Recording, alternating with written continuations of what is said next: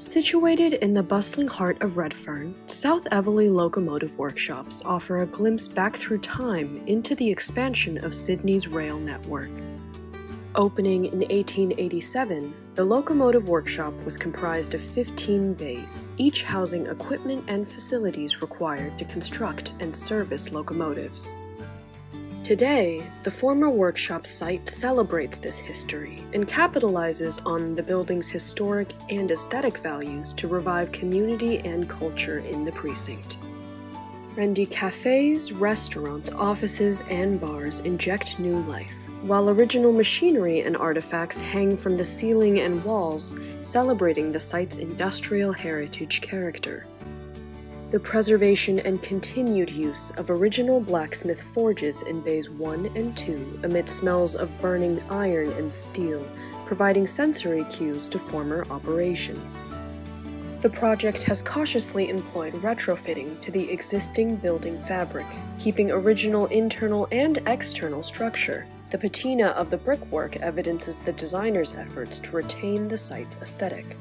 Among the changes, a high trussed gable roof allows for natural light and enables modern services, creating a sense of openness within enclosure due to its sheer height. New mezzanine levels in some of the bays accommodate commercial floor space. Black finishes on added structures sympathetically contrast with the original cast iron columns and steel girders.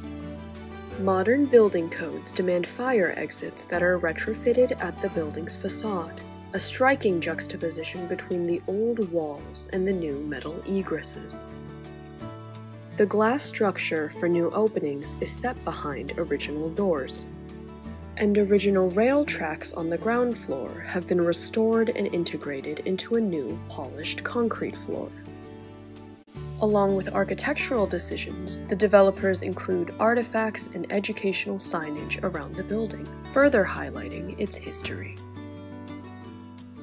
Visitors arriving by the underground parking annex ascend through a tunnel lined with immersive digital displays, which transitions to carved stone walls before opening into the space of the atrium. While the majority of adaptive reuse efforts have been seamless, this design decision is garish and contrived, involving destruction of the building's original foundations.